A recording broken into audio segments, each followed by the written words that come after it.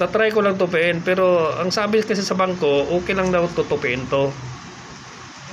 Pero yung iba na nagdadalawang isip takot din tupiin to kaya pag nakatanggap ng ganito binabayad nila agad. Pero ang sabi ng bangko pwede daw to matupi.